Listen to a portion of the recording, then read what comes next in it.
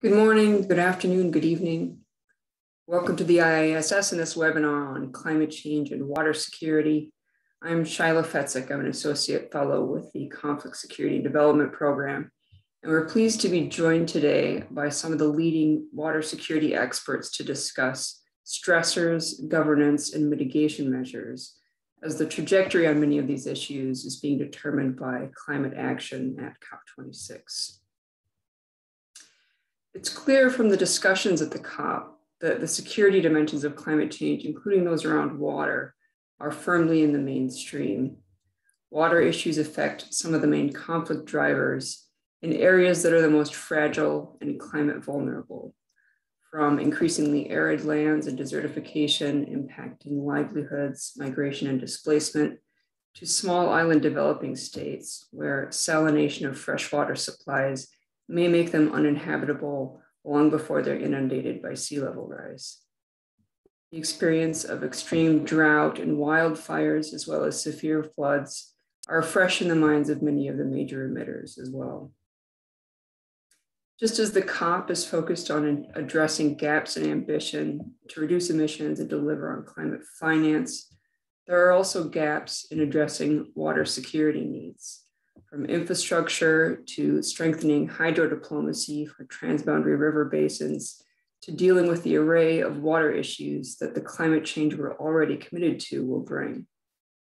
We've seen resources being put on the table, for example, USAID committing to mobilize a billion dollars of public and private finance specifically for climate resilient water and sanitation by 2030 as part of President Biden's Prepare initiative launched at the COP but where do the processes underway to address these threats leave us in terms of the scale of the challenge?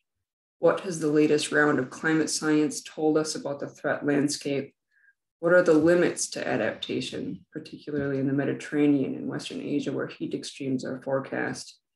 And how much will the ambition and momentum being shown so far at COP translate into addressing water security issues? What needs to be kept in mind in terms of conflict sensitivity as we transition away from fossil fuels, for example, as countries plan to increase hydro in their energy mix? And what are some of the politics around adaptation and climate finance that are relevant to the strategic environment? To discuss these issues and what they're hoping to see from COP26 and the implications for the global security environment, we're honored to be joined by some of the foremost researchers and practitioners in this field more comprehensive bios are in the invitation you received. We're joined by Dr. Hassan Janabi, former Minister of Water Resources in Iraq and former Ambassador of Iraq to the Republic of Turkey, and a writer and lecturer on socioeconomic development in the Middle East.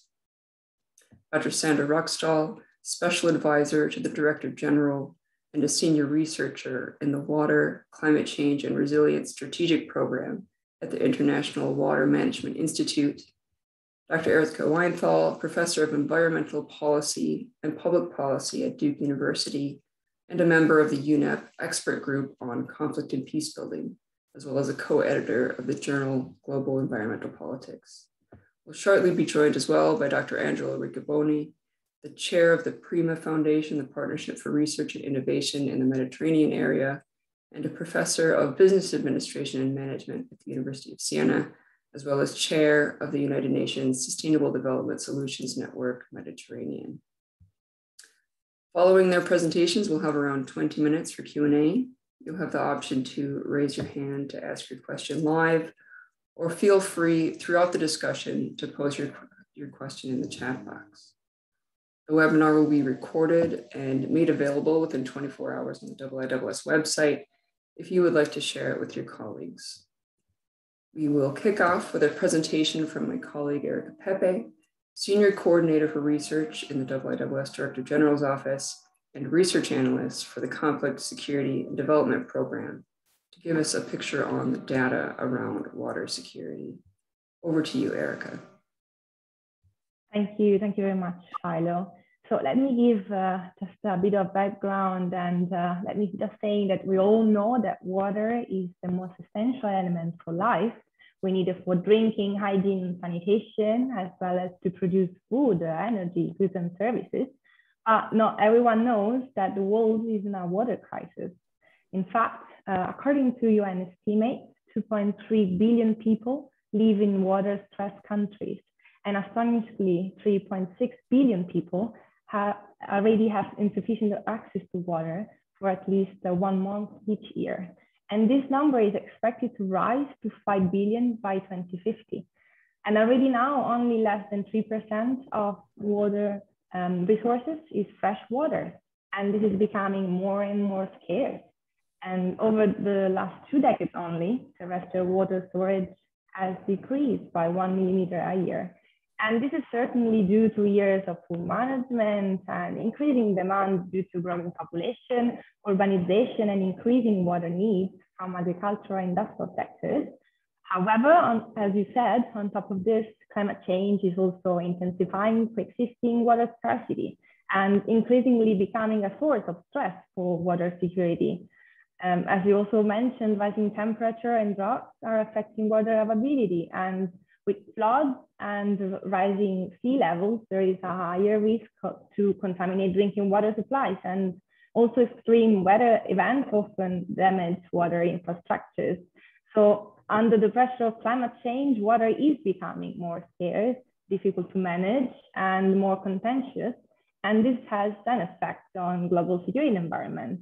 And in fact, according to the US National Intelligence Council, the increasing effects of climate change are likely to exacerbate cross-border geopolitical crises.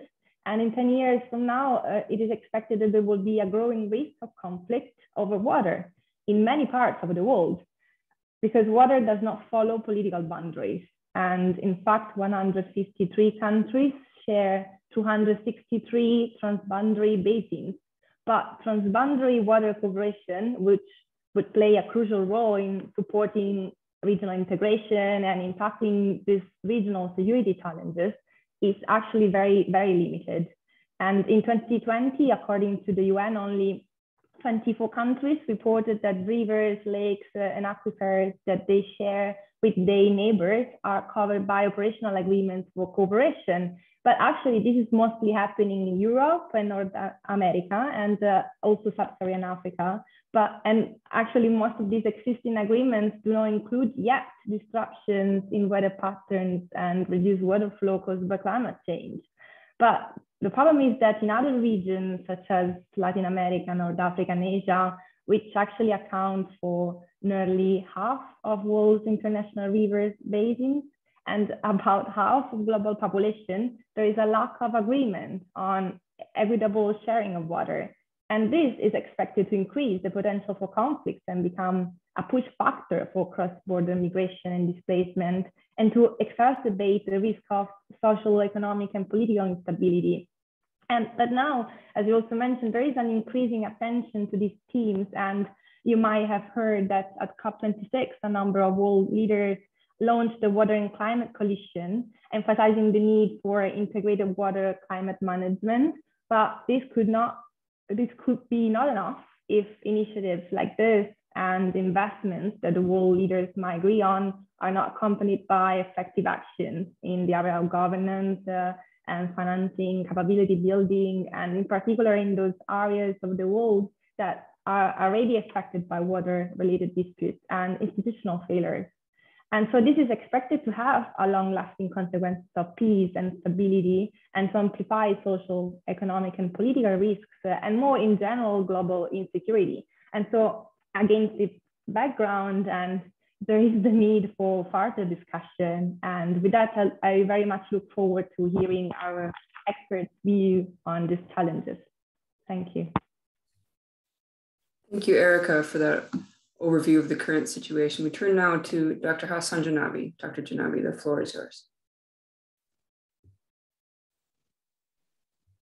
Thank you. Thank you very much uh, for this uh, uh, really nice opportunity to speak at this event during the ongoing uh, COP um, on climate change in Glasgow. Um, back in uh, 2018, I was honored to speak to the Security Council during its um, unprecedented deliberations on climate-related security risks. It was the first time that this issue was deliberated at the Security Council in New York. It was, it was really an important step forward in addressing the new challenges, reducing risks and avoiding potential national, uh, regional, and international conflicts. Um, rising temperatures of Earth's surface is a direct threat, in my view, to human life, but also it magnifies the threats of other familiar risks, increases their complexity and intensity in many regions, and obviously our region, the Middle East, is included, leading to further impoverishment, displacement, food and water insecurities, and violations of human rights, creating situations of instability and, and conflict. Uh, the declining rainfall and unsustainable use of water resources exacerbate the problem of water scarcity, causing progressive depletion of life-sustaining land resources, and of course, forced migration. Released UN statistics on the number of displaced persons and migrants for socio-economic reasons are frightening to say the least. Poverty, war, instability, and the lack of decent means of living resulting from the spread of desertification and loss of biological diversity are the main reasons behind this mass migration from some Middle Eastern countries. Ancient human civilization arose in the valleys of major rivers due to the plentiful waters in the Mesopotamian rivers, the Tigris and, and Euphrates in modern Iraq as well as the Nile River and in many places elsewhere. The rise and fall of human civilization were linked directly to the availability of water or the lack of it.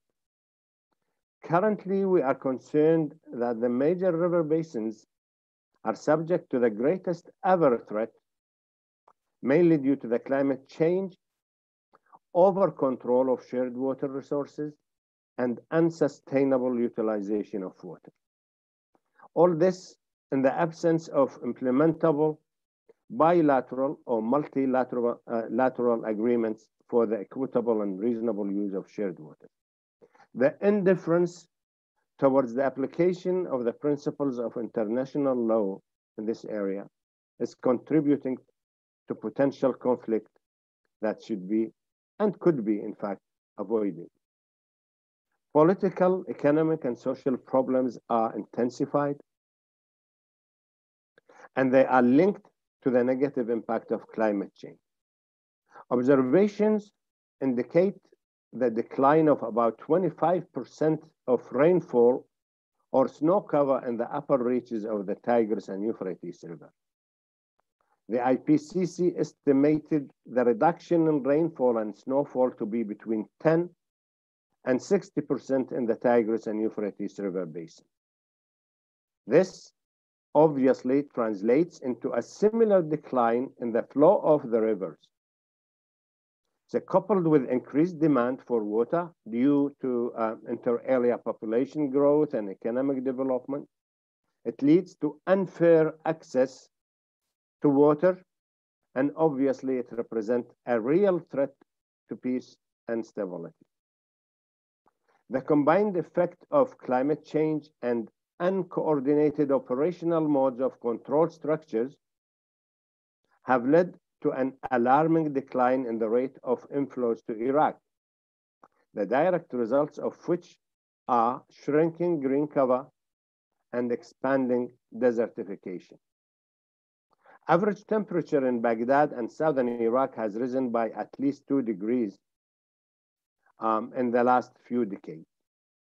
This means at least 20% reduction in agriculture productivity. Currently, 90% of Iraq's soil, historically the most fertile, with abundance of water, is affected or threatened by desertification. Three weeks ago, the government of Iraq undertook drastic measures in response to the diminishing water resources by reducing the cultivated lands by 50%, the allowable cultivated land. Climate change and the depletion of water resources destroy the fertility of the soil. The inability of impoverished rural population to adapt to water scarcity and climate change is tragically weak. It's worth noting that the displacement of rural population, usually the food producers, causes a double loss, a decrease in the number of food producers on one hand, and an increase in the number of food insecure population on the other. Another tragic example of serious deterioration in the environment is in the Iraqi Delta, the historical location of the legend of the Sinbad and the Garden of Eden. It is a striking example of the destruction of the fresh water ecology, characterized by the fertility of soil, the dense forest of palm trees that changed into a mainly lifeless environment due to advancing seawater damaging an ecosystem that had lasted for thousands of years.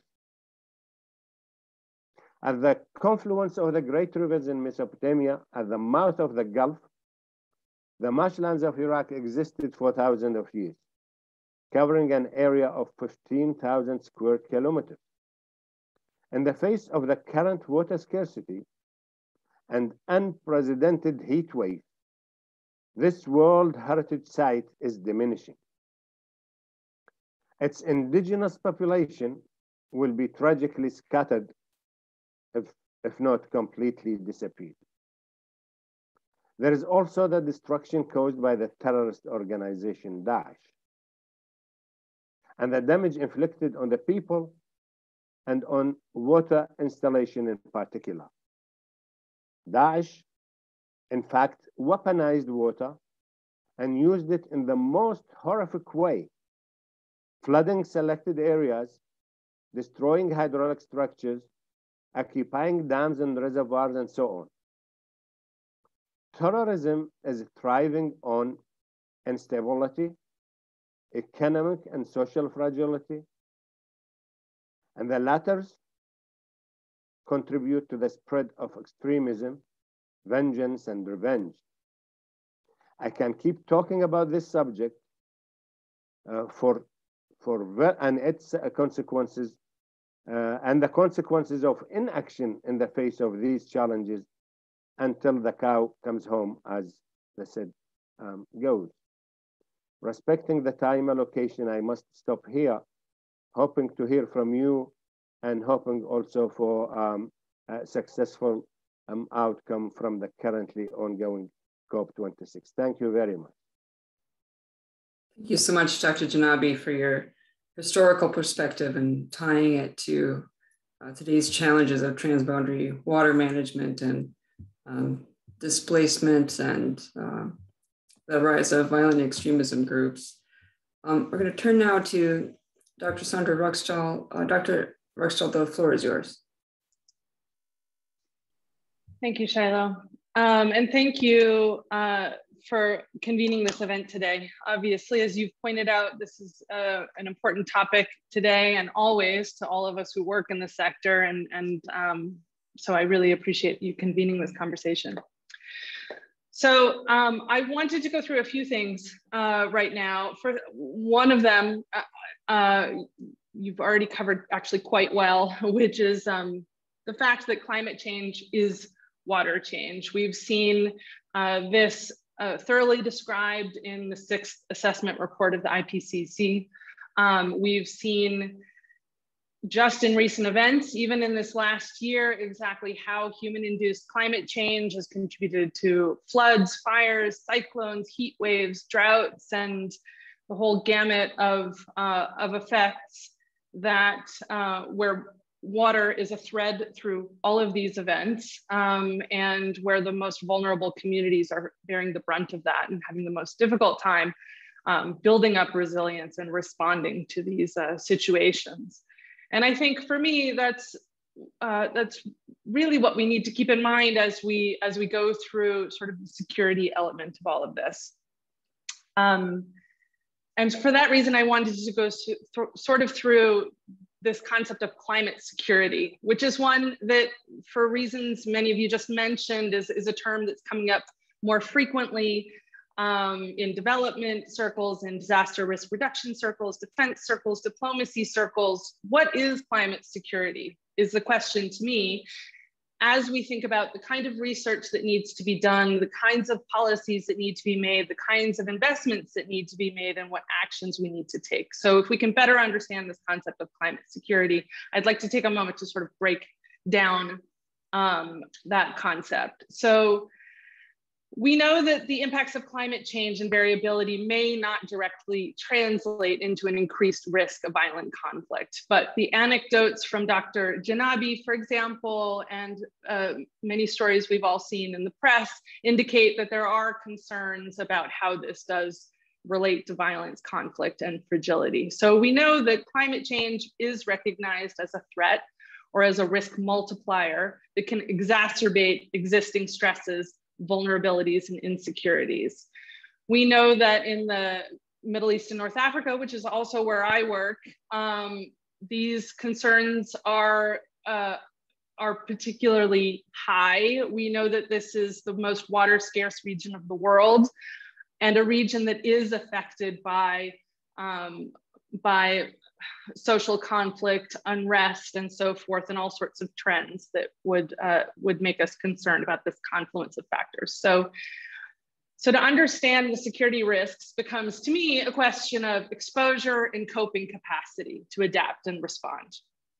Um, and when we think about this security paradigm, in some cases, uh, some prefer to use a sort of national security paradigm Others, particularly in development, which is where I work, um, there's more of a preference to speak of human security. But I want to point out that as we think about this space, as we think about actions to take, um, both of these paradigms are very relevant. And so it's important to keep them both in mind because they are framing the operational paradigms of those who will invest in this space, those who will make policies in this space, and those who will live in this space.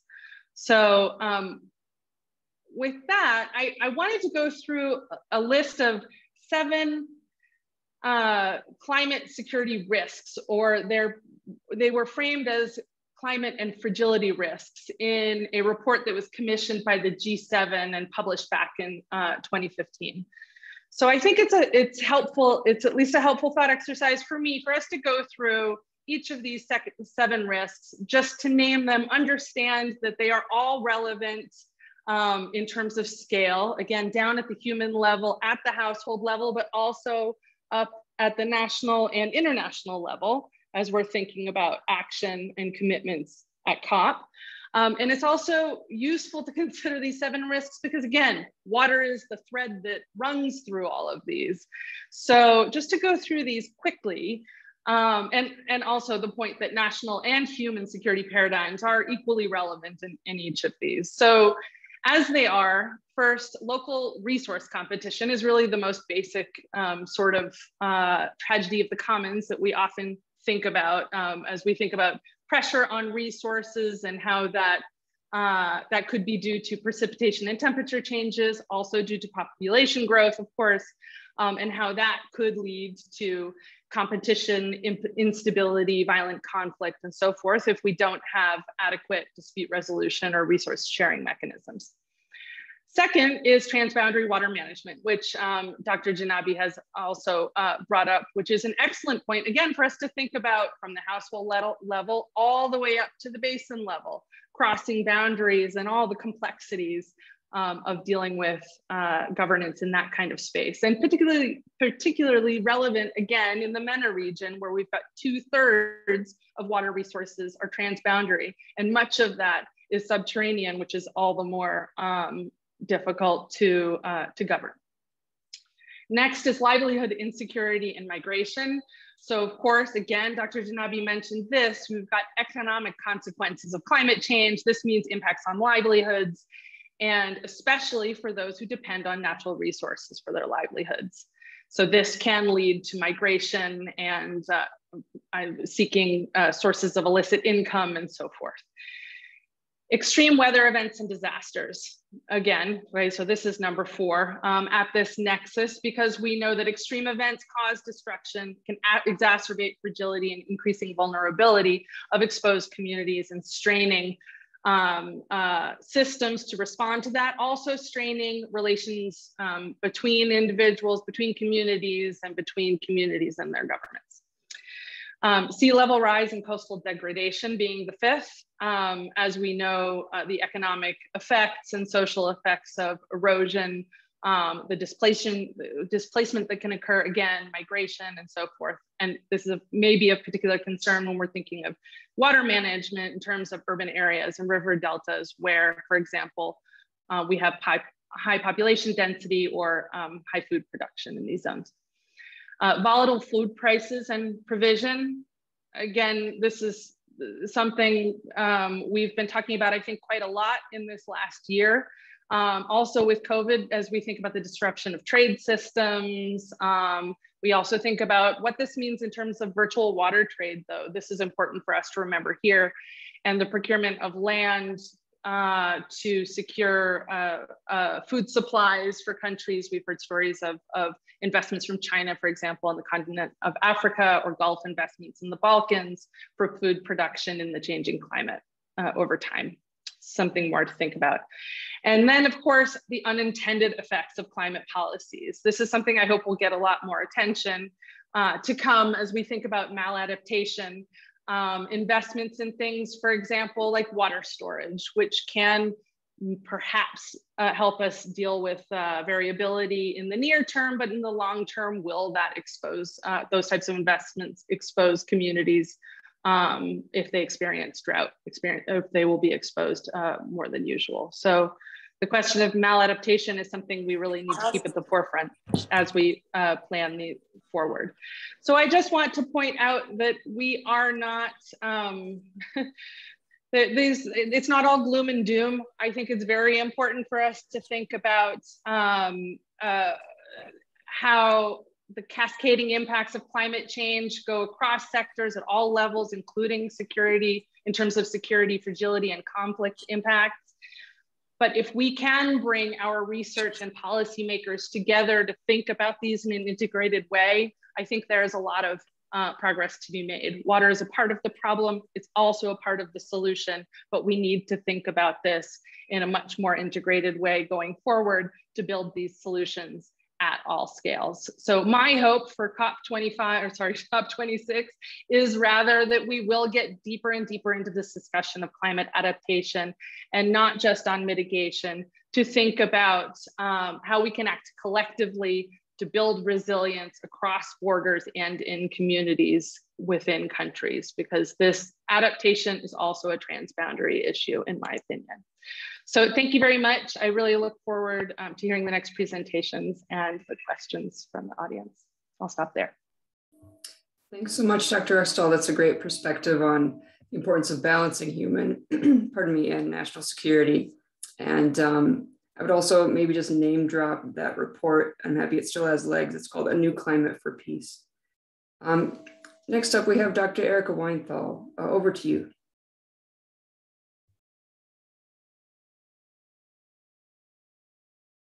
I'm unmuting. Um, thank you for asking me to um, join this um, webinar today.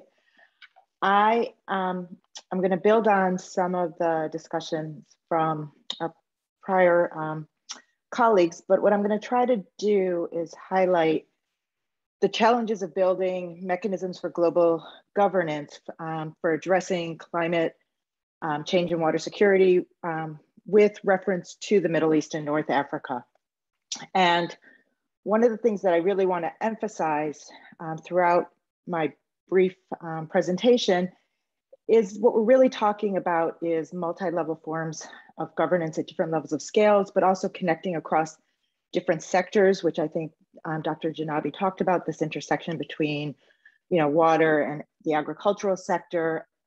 Um, you know, colleagues have written about um, the cops before talking about how we need all hands on deck for dealing with the climate crisis. And I think, you know, at this point in time, um, to really bring water into the climate discussions, it really is another instance of having everyone on board. Um, you know, the COP set out to do um, a number of important, um, has a number of important goals. One is seeking to achieve net zero emissions um, by the middle of the century. Um, you know, accelerating the phase out of coal. You know, it is, um, we've already seen the Glasgow Declaration on Forests, the Global Methane Pledge.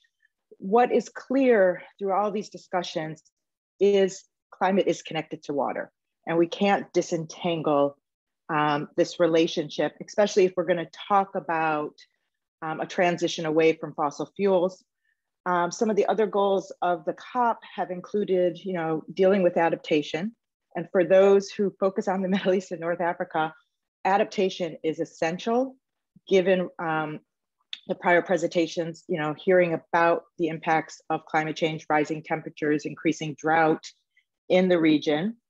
Um, but then mobilizing finance. How do we move from these pledges to implementation and practice? And there, you know, what does that mean um, for the countries in the MENA that may not have the financial capacities to introduce adaptation, um, adaptive measures, but also um, to fuel their transitions away from fossil fuel economies. And lastly, you know, the COP set out to deepen global cooperation.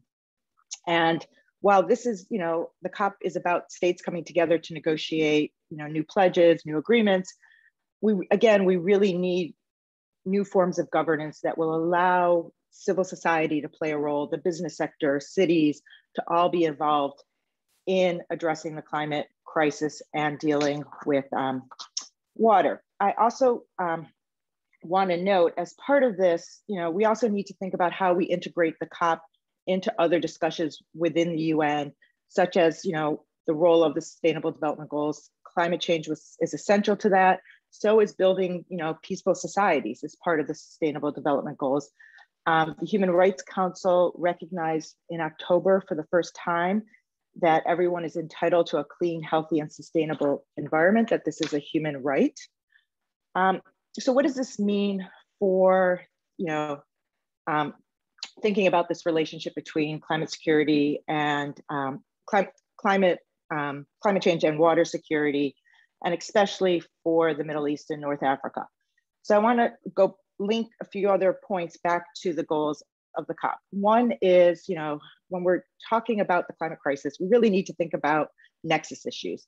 And water and energy, you know, are intricately linked.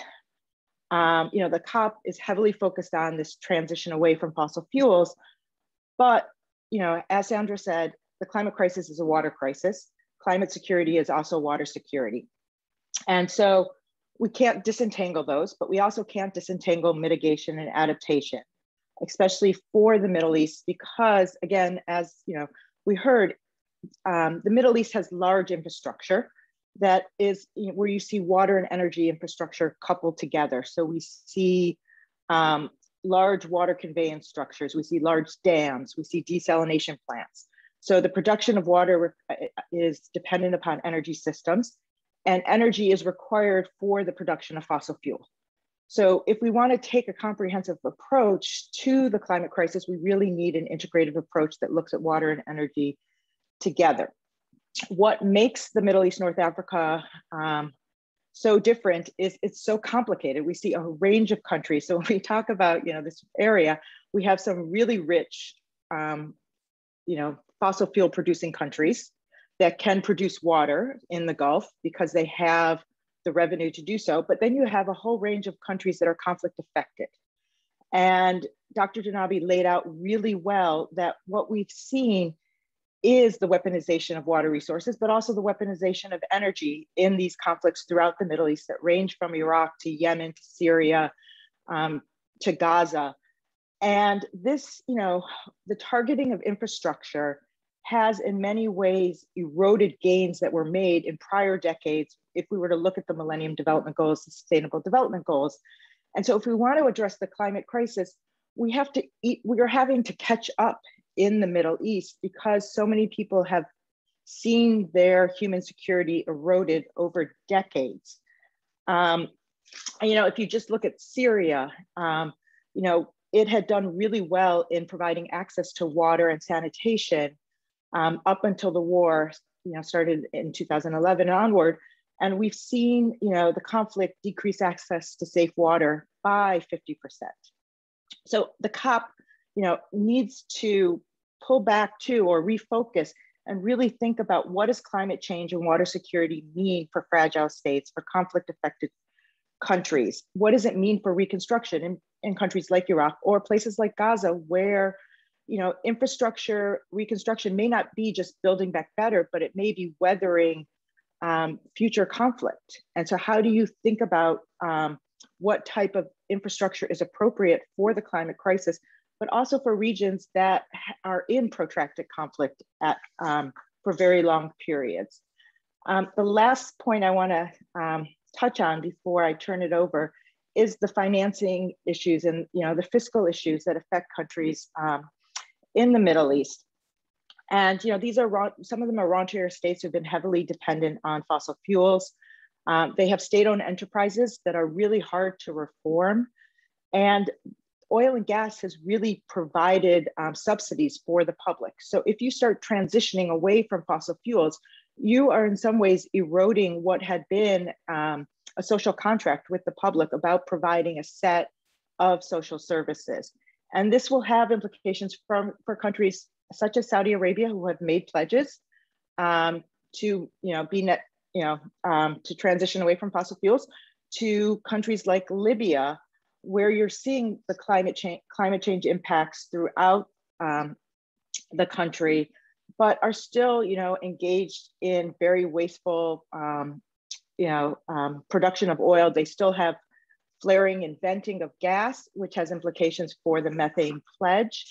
Um, and, you know, I guess I don't want to take up too much time. So I just want to conclude by saying, you know, what is on the table at the COP really needs to be contextualized for a range of countries that may not have the same capacities, the same resources as those that are leading the forefront of talking about, um, the, you know, net zero emissions um, when, you know, other countries are really, you know, adaptation is part of everyday um, survival. So I'll stop there.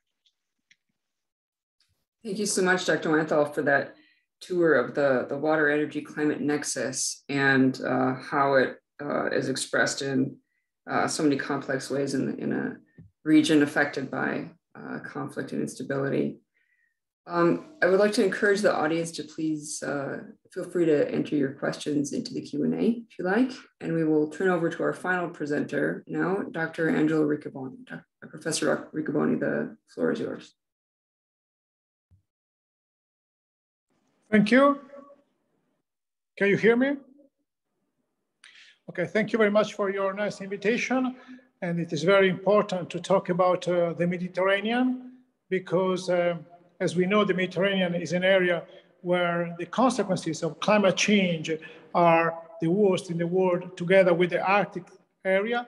In the Mediterranean area, uh, we have uh, the speed of the climate change is 20% higher than in uh, uh, other areas, so 20% uh, faster than in the rest of the world. And we as SDSN, Sustainable Development Solutions Network, I'm chairing the Mediterranean uh, chapter, and every year we produce a report on the state of the implementation of the Agenda 2030 in uh, the Mediterranean area. And if you are so good to go to the uh, website of SDSN Med, you will see that, as a matter of fact, the state of the Mediterranean is very poor in terms of implementation of Agenda 2030, and especially countries from the Middle East and North Africa, they are doing very poorly and very little in order to uh, be in line with Agenda 2030 and the uh, Paris Agreement, and then with the, the COP26 uh, uh, commitments. So what we need to do uh, I think that the words by Mario Draghi at the G20 are the most important ones. We need to, to work together. We need multilateralism. We need to put together our brains, our energies, our laboratories, our people to find solutions. And we know that it's not easy at all, uh, but for instance, uh, the Union of the Mediterranean is, uh, as you know, is a, a very important uh, international organization, intergovernative organization. They are working very hard in order to promote uh, solutions at the level of the Mediterranean because we need to be together. We know that in order to tackle major challenges in front of us, innovation is crucial. Research and innovation are crucial. So another good example is the initiative called PRIMA, Partnership for Research Innovation in the Mediterranean area, where you have 19 countries plus the European Commission working together in order to promote research innovation in the area of food systems and water resources, because we all know that food systems are key for the future of the Mediterranean. They were key in the past, they are key now, but in the future will be even more important. So as Prima, what do we do? We have a budget of a half a billion euros over seven years. And every year we launch calls for 70 million euros in order to promote research innovation among researchers of both rims of the Mediterranean. So you have, uh, nowadays, we have funded 129 innovation projects with 164 million euros. But what is even impo more important is that we have 1,183 research teams working together to find solutions on the issues of more efficient use of, of water, on the issue of sustainable farming, on the issue of food value chains as a lever for the future of the Mediterranean. So this is a crucial. We need to work together. And uh, the idea is also to bring this model, the model of uh, putting together researchers beyond sustainable uh, agri-food systems, but also in other fields, such as uh, energy, such as uh, renew renewable energy and uh, adaptation to climate change. So I think that uh, this effort to uh, put together uh, citizens, sorry, uh, energies, money, laboratories, innovators is, is crucial. So we have produced interesting projects on the use of water. This is the topic today. And in terms of of uh, technological solutions to be more efficient in the use of such an important resource. So this is the first message. We need to work together. Prima is a good example. We need to enlarge it to other fields. The second message I would like to, to deliver today is about the importance of the nexus. I heard something about that before, the nexus between water, energies, energy, as it was said, but also food and ecosystems. This is what we call WEFE, Water, Energy, Food Ecosystems Nexus. And we have already funded 17 projects on this issue because uh, the danger, the risk is that we do not put together these issues while for the future of the area are so important because uh, as it was already said, we need a lot of water to produce energy, but also to, we need a lot of uh, energy for our uh, future needs. And what is uh, possible is that in order to be able to uh, tackle the challenges in front of us, we could produce energy in the Mediterranean and then bring from uh, Northern Africa or South Europe if the temperatures goes up, as unfortunately they are going, we are able to create uh, energy through renewable sources. And with these renewable sources, we can bring energy around Europe, but also we can use this energy for other purposes besides production, but also in the hydrogen cycle. So there are many, many opportunities linked to the good management of the water, energy, food ecosystem nexus, and innovation is crucial in this, uh, in this field. So uh, I don't want to spend too much time and I would like to stop here thanking the organizers and uh, just highlighting that only multilateralism can be useful to tackle our issues. Thank you very much. Back to you now. Thank you so much, Dr. Riccaboni, for, for stressing the nexus nature of these issues and bringing in the ecosystems dynamic as well. Um, and uh, the importance of networking existing capabilities and using um, the expertise that's there, especially in a region that can sometimes suffer from, from brain drain, which affects its, its governance capacity. So thank you for that. Um, we turn now to the Q&A, and we have a question here from Benjamin Petrini, IISS, asking, in the context of protracted conflicts in MENA, what are the incentives for governments to address climate security issues when some of them are fighting for short-term survival, Syria, Lebanon, etc.? Um, we can perhaps go in the same order uh, as the as the speakers, or feel free to jump in. I'll offer the floor first to Dr. Hassan Janabi.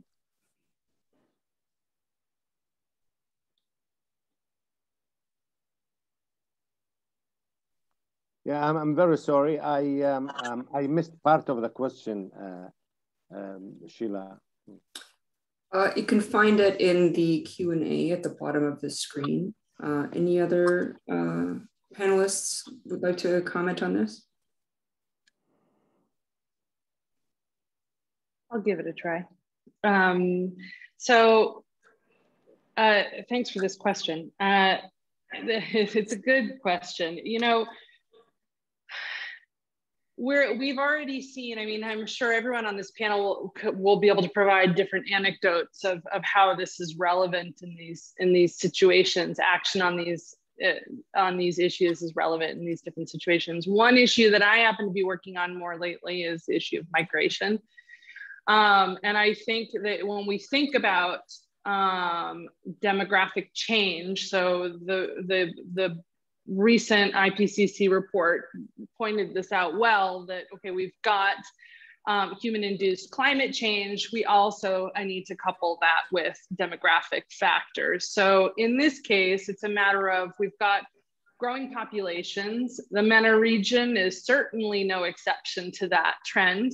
Um, and so therefore, it makes it even more urgent to develop good water management systems, um, resilient infrastructure, and so forth. Um, so, and, and this is, so we've got the population growth, but in addition to that, we've got population movement. I know that lots of people like to refer to the Syrian example as if migration, rural urban migration uh, uh, was the trigger for, for the war. I'm not disputing that there was a dimension of that, but the reason for the migration we have to investigate what was happening with water management when the migration occurred and how could that have been done uh, the same differently what have you in terms of uh, mitigating the risk of people moving. But then we also in the region have the question because this is a region where virtually every country is hosting um, displaced persons for some reason or another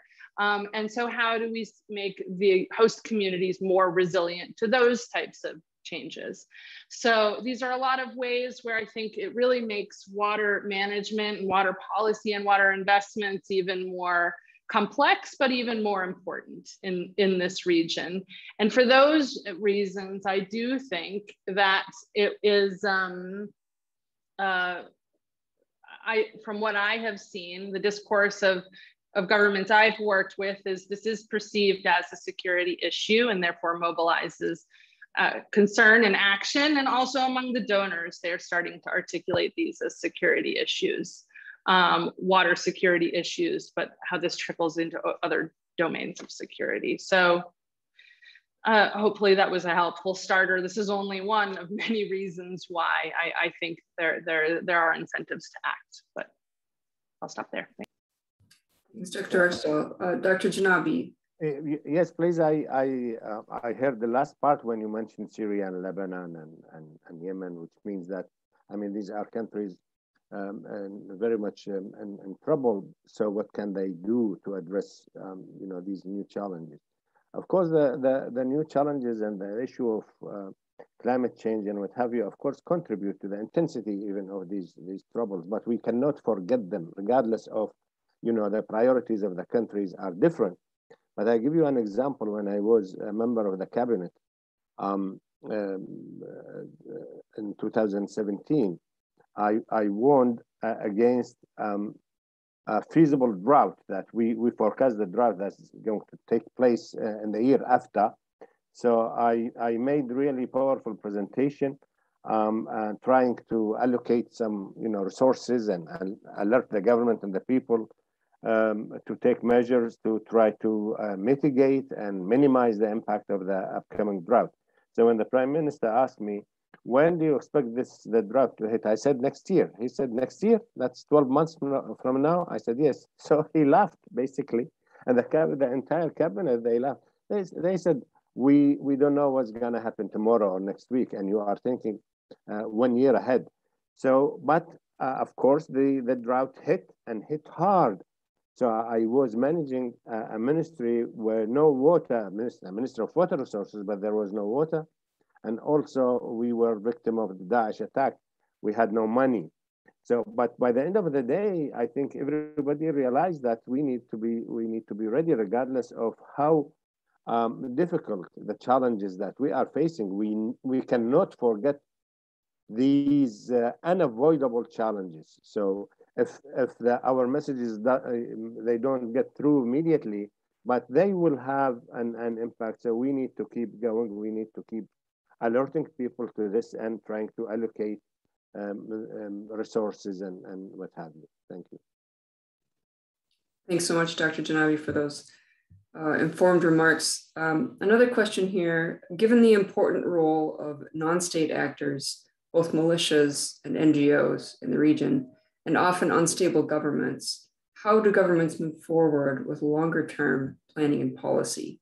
Uh, in a sense, Dr. Janabi, you've address that. I wonder if you'd like to come back on on that one very briefly. Yeah, well, yeah, this is this is you know the same thing. I mean, the the the, the my my previous answer applies here. I mean, non-state actors. What can what can you do? You cannot just submit and wait for miracles to happen.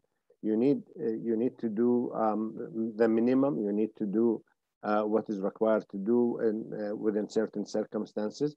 But uh, I think bringing stability uh, is uh, um, is a major issue. Um, non-state actors they they become very active. if There is, you know, um, unstable situation. There is uh, um, um, displacement, impoverishment. There is no water, no food, and what have you. So it is a complex, uh, a complex issue that needs to be um, addressed.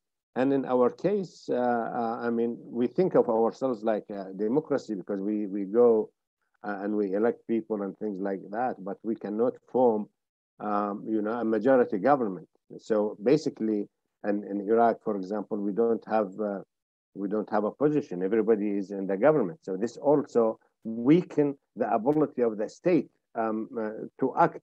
And because of you know foreign interventions, regional and international interventions in in Iraqi um, um affairs, this makes it uh, difficult. But people, basically the majority of the people are coming together, but you know, it's very painful uh, to, uh, um, to do and to work and to produce um, positive results. But uh, we cannot give up. I mean, there's no miracle uh, solutions to, uh, to the challenges that we are facing, but the will uh, and, um, you know, whenever, of course, the international support is uh, is important but we have also international intervention and required we don't require every aspect of international uh, uh, presence in, in iraq. We need to coordinate um, coordinate that. Yes. Thanks dr janabi. In our final minutes we have one more question uh, which i might turn to um, dr riccaboni and dr weinthal in terms of the design and implementation of adaptation policies in conflict ridden countries, how to prioritize the most needed issues to tackle amid limited financial resources and the complex interconnection of climate change with other domestic stressors of insecurity. Uh, would either of you like to go first? Dr. Weinthal. Sure, I'm happy to start. Um, you know, so, so from work that we've done on water and post-conflict peace building, um, you know, one of the issues that always comes up is the lack of incentives for at least the private sector to invest in the in water infrastructure in um, conflict um, affected countries or fragile states, just because there's very low rates of return.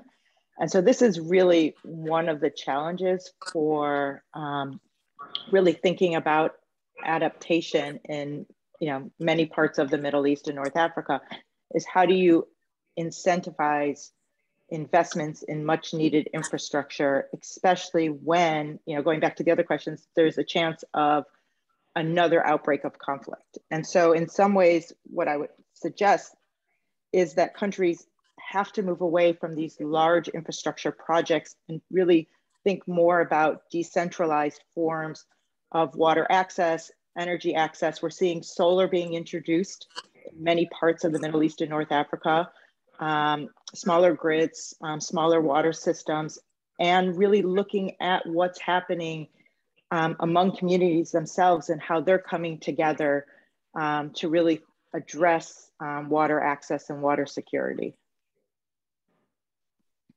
Thank you so much. Uh, Dr. Riccaboni? Well, I think that, uh, as I said before, we need a major plan by Europe for Africa from the Middle East. We need to uh, count on the, as I said before, the multilateralism. We need to, I mean, intervene in order to make uh, uh, investments in those areas because without major investments in those areas, we will never have a stability and peace. And I don't think that the private sector would be able by itself to build what is needed because uh, the, the, the, size of the intervention, the difficulties to have a return, make it very, very complex to rely upon private sector. So I think that uh, we, what we need is a major effort by Europe to intervene in these countries in order to support in the building of infrastructures. Otherwise, we will never have stability, we will never have a, a peace, and we will have more risks of uh, migration, uncontrolled migration flows. So I think that uh, what is needed is really to make Europe a major player in the, in the area to support, to help, to work with uh, these countries in order to have a, a better future. Otherwise, I think it's not easy. Great, thank you so much, Dr. Good morning. We're just at the end of our time. Um, so I will just note that we've heard a lot of important points today around, um, around how water risks are endangering human security, on the nexus nature of the challenge, uh, connection with infrastructure, energy, water, food ecosystems, and the importance of innovation and research and need for smart investment that's informed by risk analysis and, and conflict and security analysis as well. Um, the, the IISS will be continuing its work on climate security. There's a webinar on Friday on water, energy, security, and peace, the Green New Deal as a path to climate security and peace among Israelis, Jordanians, and Palestinians. And on behalf of, my colleagues at IISS and our, and our audience, thank you so much again to our speakers, Hassan, Erica, Sandra, Angelo, for making the time for this discussion. Thank you all for joining and goodbye.